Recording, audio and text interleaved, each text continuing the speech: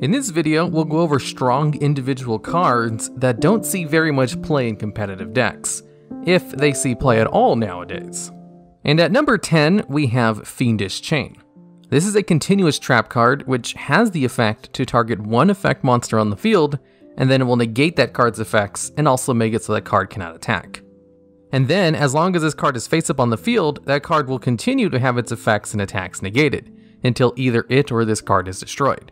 And since this card is so good at shutting down effect monsters, as well as stopping them from attacking anything, it used to be a staple 3 of card in a lot of decks, including many meta decks. And this card last saw competitive play back in 2017. So, this card has seen absolutely no play in topping competitive decks in the last two years. And why is that? This card is still good, but there are a few things that happened in 2017 and late 2016 which really explain why this card just disappeared from meta decks. You see, in 2016, Solemn Strike came out, and this was in the middle of the Pendulum era. Solemn Strike, at the cost of 1500 life points, can negate a monster's effect and then destroy that card, or it can negate the special summon of a monster, or monsters. And that second part is what made it so much better than Fiendish Chain during the Pendulum era, as if your opponent did a Pendulum summon and summoned 5 monsters, Solemn Strike can negate all 5 of those summons and send them all to the graveyard, instead of back to the extra deck, which made Solemn Strike the premier trap card monster negate card to play, since it could do more and had much better effects than Fiendish Chain. Of course, this card was usually played alongside Fiendish Chain, however, also in 2016 is when Fogblade got released. Fogblade is kind of like a better version of Fiendish Chain, where it does basically the exact same thing of targeting an effect monster, negating their effects and make it so they can't attack. But it also makes it so that that card cannot be attacked either.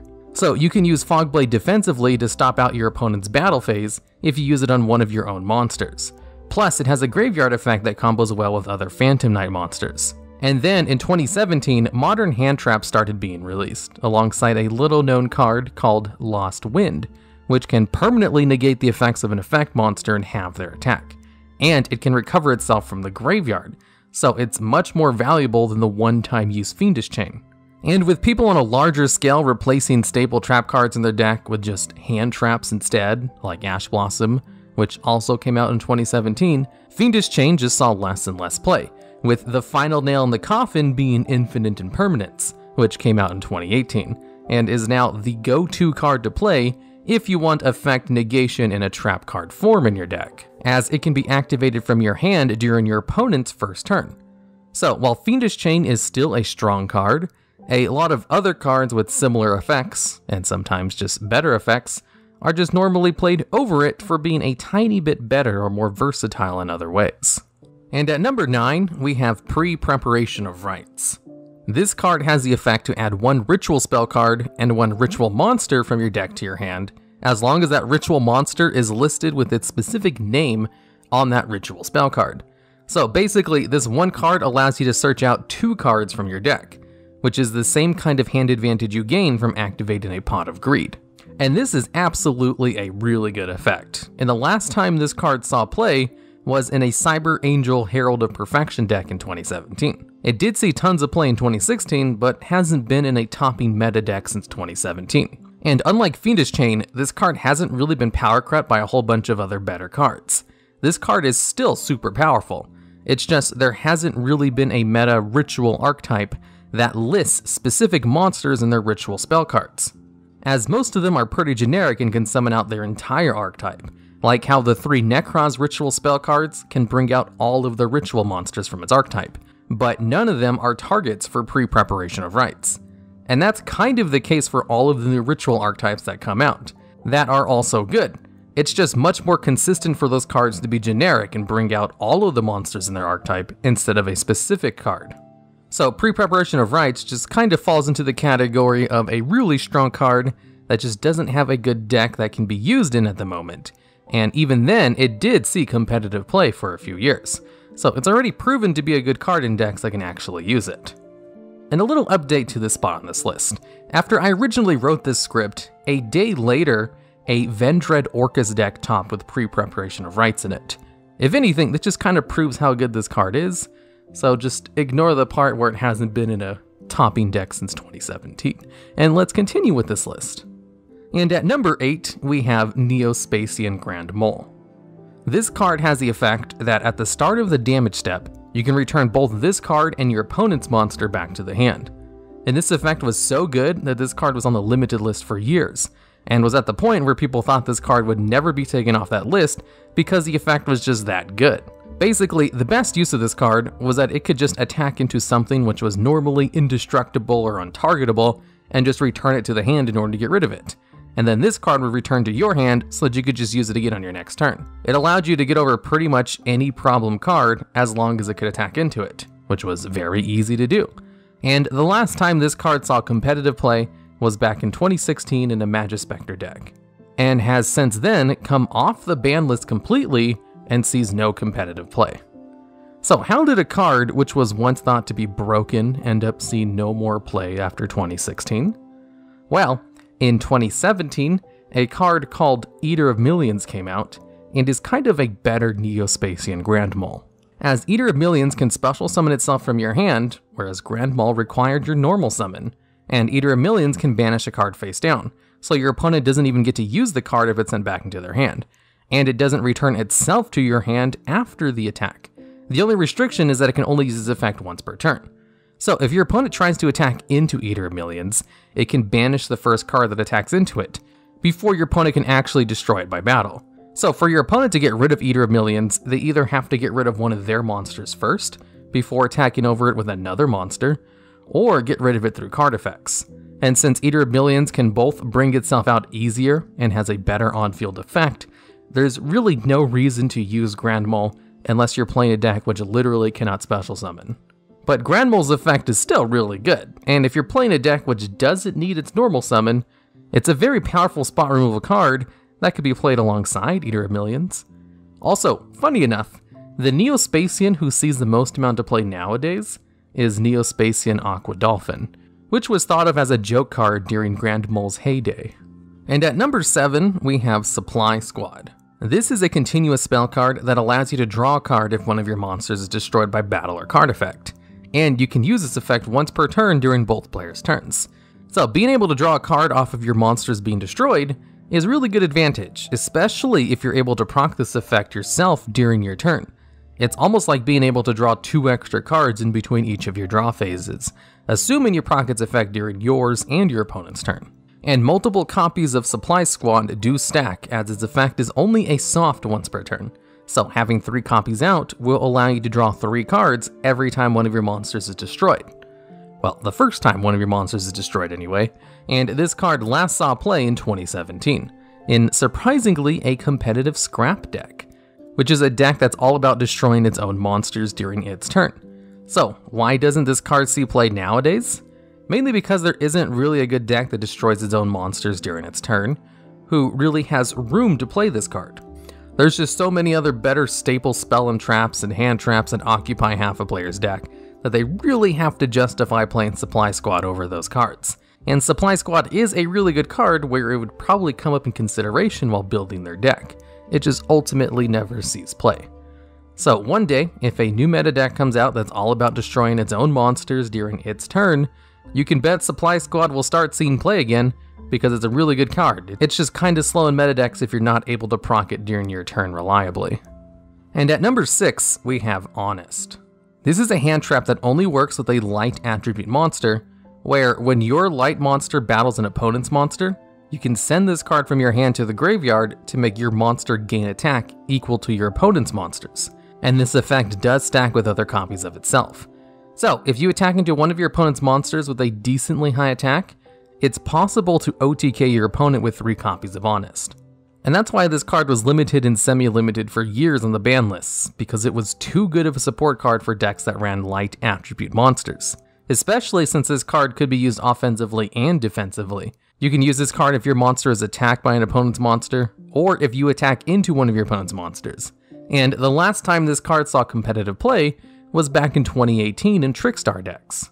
And funny enough, this card saw play all the time in Trickstar decks, so it wasn't that long ago this card kind of fell out of favor. So what happened was in 2019, Trickstar Corobane came out, which is a Trickstar monster with an Honest-like effect, where it can send itself from your hand to the graveyard to give a Trickstar monster attack equal to its original attack, you know, basically doubling its attack. Now, technically, this isn't as strong as Honest's effect, since it only doubles your attack basically, and it has a hard once per turn on its hand trap, so you can't stack multiple copies together. But, this card can special summon itself if you control no monsters, or it can special summon itself if you only control Trickstar monsters. And it has a decently high attack of 2000, which means this card sees play outside the Trickstar decks, because that's actually a really high attack for a monster that can special summon itself from the hand pretty easily. And since it is a Trickstar monster itself, it can be searched out in Trickstar decks, which were the only competitive decks that were using Honest anyway. So, it was more versatile and slowly took the place of any Honest that used to appear in Trickstar decks. And currently, Honest no longer sees play in competitive decks, because the only decks that it did see competitive play in got its own archetype specific version. And at number 5, we have Gorz, the Emissary of Darkness. This card is a hand trap that was thought to be so powerful, it was put on the ban list almost as soon as it came out, where it was limited to one copy per deck and stayed that way for years. And what this card does is if you control no cards on your side of the field and you take damage from your opponent, you can special summon this strong monster from your hand, which has 2700 attack, and then if the damage you took was battle damage, you get to also special summon a token, whose attack and defense is equal to the amount of battle damage you took. So as long as you just save this card to be used after you're attacked by your opponent's strongest monster, you'll have a really strong token on your side of the field that can just crash into your opponent's strongest monster. And if the damage you took was effect damage instead of battle damage, you can still special summon this card from your hand and then inflict the same amount of effect damage you took to your opponent. And this card was rarely used for that effect, it was more often used for the token part. And this card was thought to be too powerful to have more than one copy allowed in your deck. And currently, this card is unlimited, so you can play 3 copies in your deck if you want, and it doesn't see any competitive play. Or, not really. This one did see competitive play in a Thunder Dragon deck in 2019, which took a top 4 spot in Nationals, which is a pretty impressive record. However, that was the only deck that played this card since 2016, and it hasn't reappeared in a deck list since that one time in 2019. So this card falls under the category of rarely sees play, but not never sees play, like a lot of the other ones I've talked about so far, which is what this list is all about anyway. If anything, that just proves that this card is still strong. It's just there are so many other hand traps out there that can be used to disrupt your opponent's board before they get strong monsters to attack into you, that that's usually what people will play besides Gorz. And at number 4, we have Royal Decree. This is a continuous trap card which has the effect to negate the effects of all other trap cards on the field. And this card has no maintenance cost to keep it on the field. And this is a pretty powerful effect. And this card has been on and off the ban list ever since it came out years ago. And currently, this card is unlimited, so you can play three copies in your deck. And this card sees almost no play at all, as the last time it saw play was in one Witchcrafter deck in 2019, and only in the side deck. And before 2019, this card saw consistent competitive play, even if it was only a popular side deck option. And the reason this card rarely sees play nowadays is because Red Reboot came out in late 2018. You see, once a new card comes out, it doesn't immediately replace the previous cards that it power crept, and it usually takes some time before the community collectively decides that, ah, this card is better, and then replaces it in all of their deck lists and Red Reboot kinda power creeps Royal Decree. Because you see, there still are a lot of decks that play a lot of trap cards. And the most played card in the game is Twin Twisters, which is a card that destroys back row because some trap cards can completely shut down certain decks. So the effect of Royal Decree is still a really good and strong one, it's just Red Reboot is better, and Twin Twisters, like I said, is the most played competitive card in decks. So with a combination of 3 Twin Twisters and 3 Red Reboots, you're kind of covered when it comes to back row coverage and stopping trap cards. Because what makes Red Reboot better than Royal Decree well, let me explain its effect first. Red Reboot is a counter trap card that can be activated when your opponent activates a trap card, and then it negates the activation of that trap card, and instead of destroying it, it sets the card back face down. And then your opponent gets to set one other trap card directly from their deck face down. But then for the rest of the turn, they cannot activate any other trap cards. So, it essentially locks your opponent out of playing trap cards for one turn, at the cost of letting them keep the card you negated and giving them a free card directly from their deck. So, the trade off seems kind of extreme, and something that you wouldn't want to play Red Reboot over something like Royal Decree, which can just stop all trap cards for basically no cost. But, Red Reboot has an additional effect where you can activate Red Reboot from your hand by paying half your life points. So you can use Red Reboot as soon as you draw into it to attack for a game, and ignore all of your opponent's trap cards for a turn. Whereas with Royal Decree, you'd have to set the card first, and then wait for your opponent's next turn to activate it. And then your opponent would just be able to destroy it with a Knightmare Phoenix or a Twin Twisters. Two of the most played cards in the game. Whereas Red Reboot is safe from both of those things, because you can just keep this card in your hand, and just pay half your life points to use it whenever you want.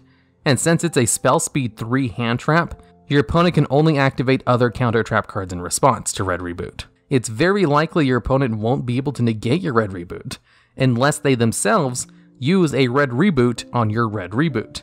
So it's just better at accomplishing what you want from Royal Decree, and that's your opponent not activating trap cards during your turn, so that you can win during that turn.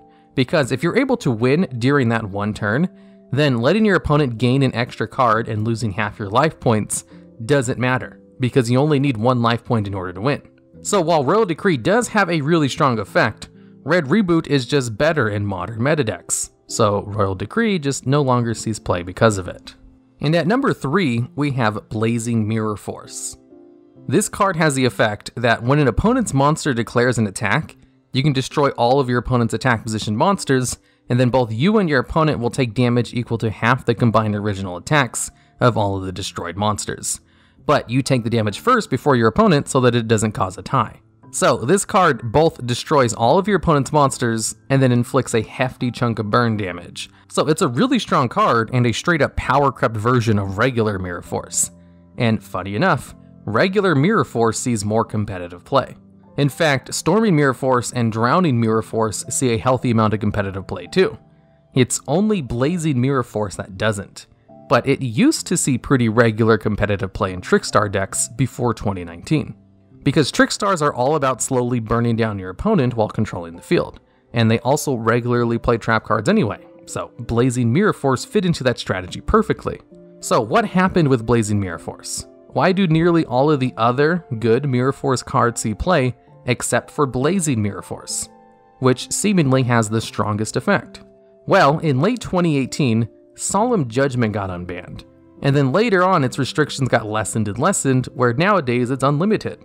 And people who use Solemn Judgment will sometimes play Solemn Strike and Solemn Warning alongside it as well, or use a variation of those three Solemn cards.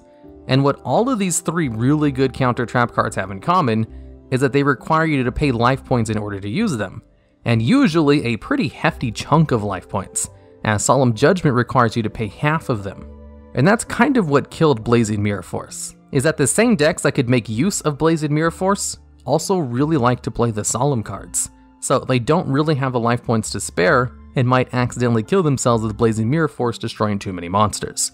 Or they weren't confident enough to run both Blazing Mirror Force and one of the Solemn cards. And modern Trickstar decks that use trap cards generally run some of the Solemn cards, which leaves no room to run Blazing Mirror Force. And the last time Blazing Mirror Force saw competitive play was in a top 24 60 card chain burn deck. And in that deck, there was only one copy of the card, so it wasn't really a necessary part of the deck. So if they ever decide to ban the Solemn cards again, or restrict them more heavily, expect to see Blazing Mirror Force played more often again, as three of the other Mirror Force cards do see regular competitive play. And at number 2, we have Rekindling. This card has the effect to special summon as many fire monsters with exactly 200 defense from your graveyard as possible, but you have to banish them during the end phase. And there are 68 fire monsters in the game with exactly 200 defense, and that's kind of a hallmark of fire monsters. Whenever a new archetype is released that has fire monsters in it, there's a very good chance they'll give some of those monsters exactly 200 defense, that way it can have support with a lot of the other fire monsters support. What I'm trying to say is Rekindling has a ton of targets, and it can allow you to special summon 5 cards with one normal spell card that doesn't have a cost or a hard once per turn on it. It's an incredibly good card, and it last saw play in 2016 in 4 Infernoid decks. And since then, Rekindling has actually been unlimited, as it was still limited to one copy back then. And here's the funny thing about rekindling Infernoid decks are still meta, and regularly see play today, except none of them play rekindling anymore, despite the fact that it's at 3 copies, as there have been 13 Infernoid decks that have topped in 2019 so far. Now, the reason those decks don't use rekindling is most likely because of three new cards. Since 2016, when rekindling last saw play, Layer of Darkness came out, which is a really good field spell card that allows Infernoids to tribute their opponent's monsters. And Pot of Extravagance came out, which is a really good spell card that allows them to draw two cards. And Monster Gate went back to three, which is a really good spell card that combos with Infernoids and Layer of Darkness very well, where Monster Gate was limited to one copy when Rekindling was played as well. And it's really because Infernoids don't really need Rekindling, as it only really works on one of their monsters anyway, and there's better spell cards to use, they just don't really have the room to use Rekindling. And that's basically it. It's a really strong card, just without a deck that can really take advantage of it, which is why it's at 3 copies and sees almost no play, despite having one of the strongest effects in the game. And this one card can allow you to go plus 4 in card economy if you special summon all 5 monsters from your graveyard. And at number 1, the strongest card that sees absolutely no play, or I guess rarely sees play, and that's Witch's Strike. This is a trap card which you can activate after your opponent negates the summon of one of your monsters, or the activation of one of your card effects. And what its effect does is destroy all cards on your opponent's side of the field and in their hand. Now, destroying all cards on your opponent's side of the field is a pretty good effect. But it's this destroying your opponent's hand part that makes this card incredibly powerful, and its activation requirement is something that happens in pretty much every meta deck. Remember how I was talking about the three Solemn cards during the Blazing Mirror Force segment? Well, the Solemn cards can proc Witch's Strike, as you can even see one of the guys from the Solemn cards in the artwork of Witch's Strike, and it can also be procced by hand traps, which pretty much every deck uses. So many decks play effect negation and the Solemn cards, that it's almost too easy to resolve this card to get rid of all of your opponent's cards. And yet this card has only seen play one time in a competitive deck, at one copy, in a zombie deck that was in early 2019 when this card first came out. And then nothing since. So, why is a card like this with a really powerful effect and condition that can be fulfilled by playing against basically any meta deck not seeing any play? Well, because it's kind of awkward to play in your average meta deck. Because you see, the reason people play hand traps is so that they can negate your card effects during your first turn. And in order to use Witch's Strike, you have to first set this card and then wait until your next turn before you're able to use it. So this card can only ever be useful as a second turn play, assuming it survived being in your back row that long, as most trap cards at C play are ones that can be chained to being destroyed or negate stuff before they get destroyed. So Witch's Strike would basically be sitting there for an entire turn, and it's very unlikely that it would survive till your next turn unless you were playing a whole bunch of other trap cards to protect it as a buffer. And then after that, the card itself can only be activated after one of your effects has been negated. It doesn't stop the effect from being negated, so you still lose your monster or whatever card you're trying to activate to your opponent's negate. It's just then this card would be live to be activated, in which case your opponent could just negate it, since this card is a normal trap card and doesn't have protection of spell speed 3 like the Solemn cards do from being counter trap cards. Honestly, if Witch's Strike was a counter trap card, it probably would see a little bit more play. And if it was a quick play spell card, it would be kind of broken, since you'd be able to use it during your first turn. So this card is kind of the case where it has a really powerful effect that's really easy to pull off, but it's limited in the fact that it's kind of a sitting duck for a turn, and you have to wait for your opponent to disrupt you in order to even use it. And it itself can be negated with something like a red reboot.